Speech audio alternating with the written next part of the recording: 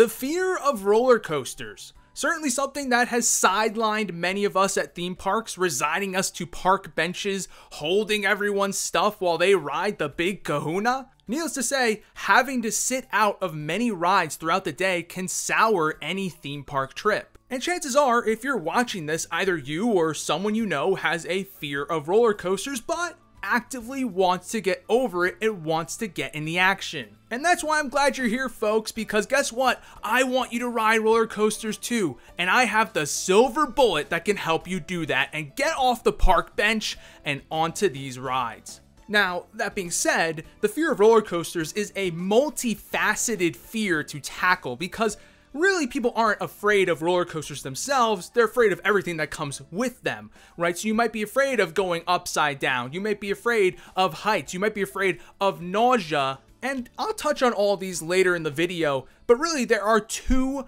major factors that play into people being afraid of roller coasters. These are the safety of roller coasters and the forces that are put on your body by roller coasters. In particular, that stomach drop feeling that many people find uncomfortable. So let me go ahead and just dash the safety concern right off the bat because that's the easiest one to address. I know through the media and through the news, it might seem like roller coaster accidents happen all the time, but when we take a deeper look into what the news is covering here, 90% of the time, the big roller coaster accident is guests being stuck on the lift hill of a ride for a few hours, which is a completely normal safety procedure that did not involve anyone getting injured or hurt. And yet, for some reason, the news feels the need to report on it, even though obviously there's no real news to discuss here. Why do they do that? Well, it's because roller coaster accidents are so few and far between that they have to talk about non factors like that in order to actually have anything to say to bring in eyes to their broadcast. To put this in perspective for you, just how rare this is, the odds of you dying on a roller coaster are 1 in 170 million, million, folks. Now, maybe that number sounds small to you. Maybe you're saying, oh, well, any chance of dying is too much. Okay, let's run the numbers. Let's say you're the type of person who goes to an amusement park and you sit on the bench, you say, okay, I'm not gonna ride the roller coaster. Consider this you have to drive to the theme park, right? Uh, well, you have a higher chance of dying on the car ride over. You have a higher chance of dying walking from your car to the park entrance or just walking around the park in general from tripping and falling. You have a higher chance of choking on your lunch that day and dying than dying on a roller coaster. And this is not just by a slight margin, this is by literal millions of percentage points difference between these two things. So listen, if you're at home and you're living inside of a bubble, then yes, please do not ride the roller coaster, okay? That's too much for you. But if you leave your house on a daily basis, then guess what? You're already putting yourself in more danger than you would ever be in on a roller coaster. And the reason for this is because roller coasters have more safety mechanisms and procedures in place than what is even remotely necessary. They have fail safes for fail safes over and over and over again in every single aspect of the ride. The supports have fail safes, the track has fail safes, the brakes have fail safes. Oh, and you know those uh, seat belts they have you put on before you pull down your lap bar or put on your over the shoulder restraint? Guess what? That's a fail safe too. Those seatbelts are not doing jack for you on the ride. You might think the seatbelt is helping keep you in. No, the seatbelt's doing nothing most of the time because the lap bar is really doing all the work. The lap bar is reinforced with hydraulics that are used on airplanes. You're literally not going anywhere but they put the seatbelt there just in case, God forbid, that 1 in 170 million thing were to happen. Hey, guess what? The seatbelt's gonna catch you. And you may be saying, okay, well, I understand that the roller coaster was designed with safety in mind and it was designed well. But I don't trust the ride operators, right? The fact there is a human element to this, there's always a chance of them messing up.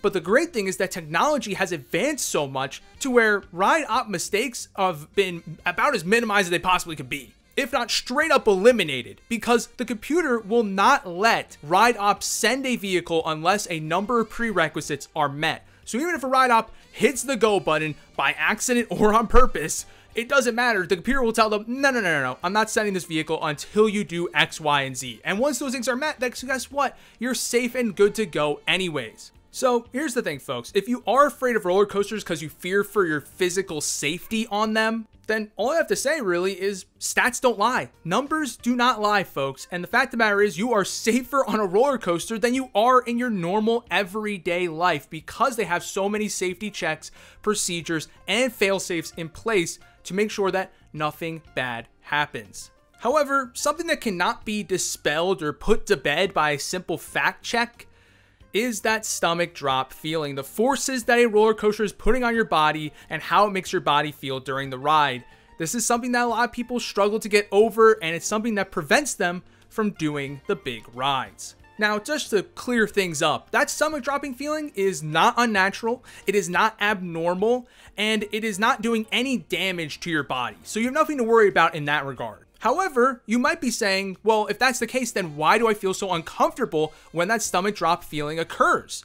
Well, think about this way, folks. When do you ever experience that stomach dropping sensation outside of theme park rides? Seriously, think about it. How often does that happen in your normal life? Probably not very often right? Some of the most common occurrences of it are probably when you hit a bump in the road when driving your car at very high speeds. You know, perhaps maybe you get that stomach dropping motion there. Uh, and probably the most common occurrence is realistically turbulence on airplanes, right? Those changes in altitude at a rapid pace often cause that stomach drop feeling. And what you might notice about these two things is that they both are precarious situations. They are abnormal moments in your transportation journey that results in you getting that stomach drop feeling, meaning that really in your normal everyday life, the only times you ever experience stomach drop is during precarious situations when your body is in danger. Therefore, there's a very good chance that your body and mind has associated that stomach drop feeling with dangerous situations. So even if you know roller coasters are safe, you know that you have nothing to worry about in that regard, your mind is still going to play tricks on you and make that stomach drop feeling feel very uncomfortable because it associates it with dangerous experiences. So, the only way to convince your mind that that stomach drop feeling is not necessarily always a bad thing, and you're not gonna like this, is to ride roller coasters. I know, I know. It's certainly a tall ask, but think about it this way, right? The more roller coasters you ride, and the more you prove to your mind that, hey, that stomach drop feeling is not necessarily always happening during precarious situations, and it's happening during the safe environment and fun environment of a roller coaster. I mean, I wish it was as easy as just telling your mind, hey, uh, stomach drop feeling is not a problem, guys. It's not, it's not something to be worried about, all right? And, uh, you know, just flick a switch and all of a sudden it's not uncomfortable anymore. Unfortunately, you have to prove to your mind and body that it's not a problem, right? It's like eating your vegetables. It's gonna suck at first because they taste like buns, but your body's gonna be much healthier going forward because you ate the vegetables, right? It's the same thing. You're gonna ride roller coasters. It's gonna suck a little bit in the beginning because you're gonna feel uncomfortable at stomach drop. But the more you ride roller coasters, the more comfortable and more used to that feeling your body will become. And then eventually, you may even turn the corner to where your body actually experiences extreme joy from feeling the stomach drop feeling, which I know that might seem unfathomable to you at this moment in time, but most of the people who really like roller coasters actually chase that feeling of stomach drop. But don't get it twisted, folks. I'm not saying get on the biggest, baddest roller coaster at the next theme park you visit and just rip the band aid off. No, no, no, no, no.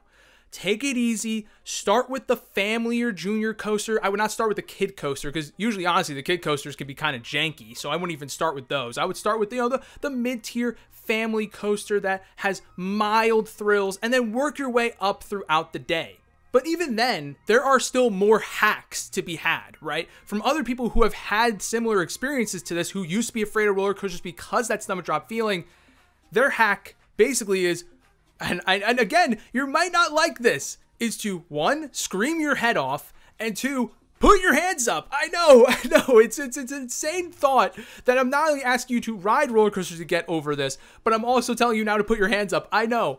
But from people's own experiences when you tense up, when you're nervous, when you're hunched over your lap bar, holding on for dear life on these rides, guess what? Your whole body is tensed up. And when your body's tensed up, it's more sensitive to those motions and to that stomach drop feeling, making it much more extreme and a lot more uncomfortable. By screaming, you're letting out a lot of that tension. You're distracting your mind a bit by focusing on screaming instead of focusing on that stomach drop feeling. And by having your hands up, again, that's another distraction. And it also helps to stretch out your body. That way it can't be as tensed up. And if you're worried about people looking at you sideways for screaming on a roller coaster, dude, you've been sitting on the park bench, you've been watching these cars come flying by. There's at least one person screaming on every single train. That's a part of the game at amusement parks. Do not feel bad at all for screaming. Go ahead and let it out, and you will feel much better on these rides for doing so. And here's the other great thing about it, too, folks. Once you train your body and mind to get used to that stomach drop feeling, it's like riding a bike. You never forget how to do it. Your body remembers, oh yeah, this is not a bad feeling to have. Now, maybe you won't feel super comfortable on roller coasters as you get older for other reasons, but that stomach drop feeling will never be a problem going forward once you train your body to be used to it. So let's go ahead and just rapid fire some of the other concerns around roller coasters. Going upside down, listen folks, this is not Jimmy Neutron. You're not going to get stuck upside down. That is against the laws of physics. It's literally not possible. So not only do you have nothing to worry about there,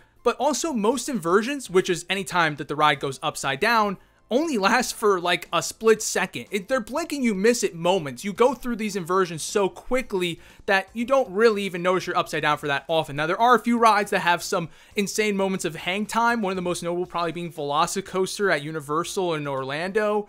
Uh, so stay away from that one if you're concerned about that. But every other ride, these are blinking you miss it moments. And once you go through and you do it once, you're probably not even going to be afraid of it afterwards. To be like, oh, that was it. Not a big deal. If you deal with nausea on roller coasters, if you deal with motion sickness, there's a couple of pieces of advice that I can give you. I mean, for one is don't drink alcohol anytime near when you're going to the theme park. I know maybe a tall task for some of you, but alcohol can make your vestibular system, which is basically responsible for your sense of balance, to be much more sensitive to movement, which of course would result in you becoming much more nauseous on roller coasters than you would otherwise if you did not have alcohol in your system. But regardless if that's an issue for you or not, there are now patches and drugs that you can get that completely desensitize you to motion sickness, which would allow you to experience these rides without having the fear of getting sick. And if you're afraid of heights, well, just don't look down. Check! I'm looking down! No, I'm kidding. I actually do kind of have a fear of heights. I mean, I don't lean over any ledges. I don't hold anything out over a ledge. I, I you know, I kind of freak out even when someone else is doing that. So, you know, I, I, kind of have a fear of heights. And yeah, I have no problem riding roller coasters that are 200, 300, 400 feet up in the air because I know I'm secure. I know I'm locked in, right? There, there's really next to no chance of me flying out of my seat, especially if it's on a lift hill nonetheless. I'm so secure, in fact, that even if I was trying actively to get out of my seat, to jump to my death, it literally would not even allow me to. It'd be damn near impossible to pull that off. So I think once you kind of have that sort of uh, internalized in your mentality, your body will be totally okay with dealing with it, even if you still have that fear of heights in other regards. So now that I've addressed majority of the major fears and concerns around roller coasters, let me leave you with this. If you're still not convinced, if you still think, oh, I can't do it, I, I can't get over this fear, I can't accomplish this, think about it this way. What is one of the greatest things you can do in your life? Period. Period. One of the greatest things you ever do in your life.